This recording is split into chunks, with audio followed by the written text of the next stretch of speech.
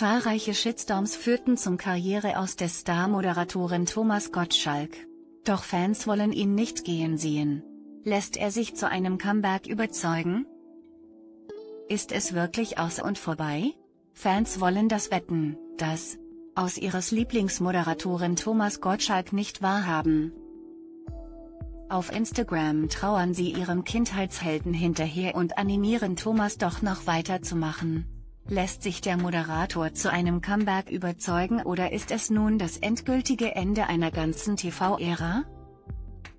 Mit viel Überzeugung kann er ja zurückkommen.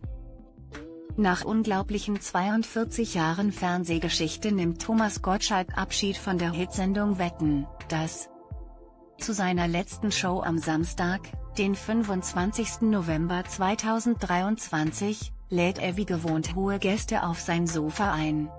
Neben Sängerin Cher beglücken deutsche Stars wie Helene Fischer, Shirin David und Matthias Schweighöfer den Entertainer in seiner Show.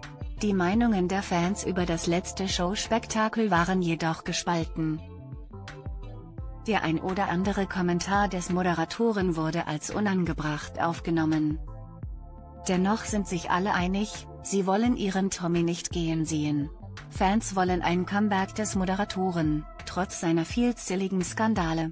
Fleißig kommentieren sie unter den Abschiedsposts von Thomas auf Instagram.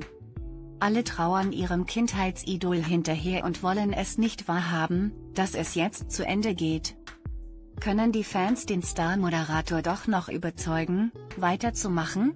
Thomas' vergangene Skandale sind ihnen dabei ganz egal.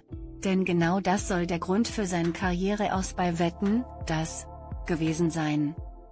In seiner Abschiedsrede der letzten Folge machte er dies ganz deutlich, und bevor hier irgendein verzweifelter Aufnahmeleiter hin und her rennt und sagt du hast wieder einen Shitstorm hier gelabert, dann sage ich lieber gar nichts mehr. So verabschiedete sich die ZDF-Legende von seinen Fans und seinem gesamten Team. Eine Ära geht zu Ende und keiner will es so richtig wahrhaben. Doch alle wollen ihn wieder auf der großen Bühne sehen. So ganz ist es mit seiner Karriere dann doch nicht aus, da man ihn außerhalb von Wetten, das noch in anderen Fernsehformaten sehen werden kann.